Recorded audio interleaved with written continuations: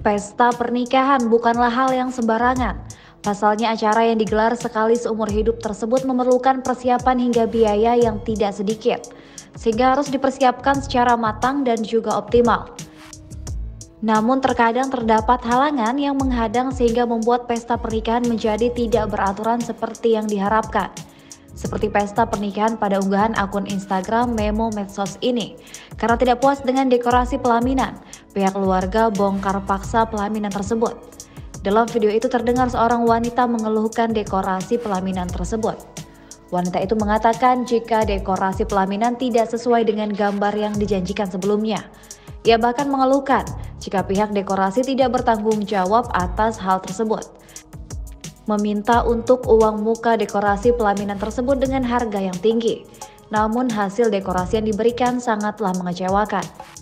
Viral ya Beb, pelaminan nggak sesuai budget. Budget mahal, harga nggak sesuai dengan yang diinginkan. Di hari H nggak sesuai yang diinginkan dengan harga. Jadi dibongkar semua, ganti yang baru. Ini baru datang lagi pelaminan yang baru. Ya Allah, kok tega kali lah ya kayak gini ya.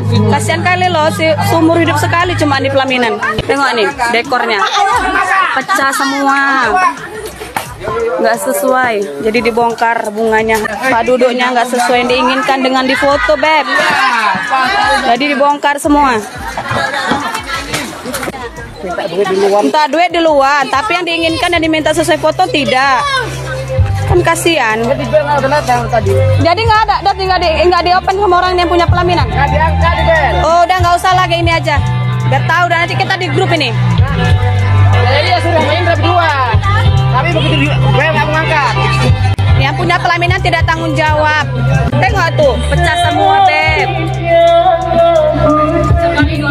Berapa juta? Ya Allah, 12 juta dihitung Kak. Kayak gini harganya. Budget minta, ke DP minta tinggi. 3 juta. DP minta 3 juta. Pelaminan nggak beres. Bunganya tengoklah, Beb. Ya Allah.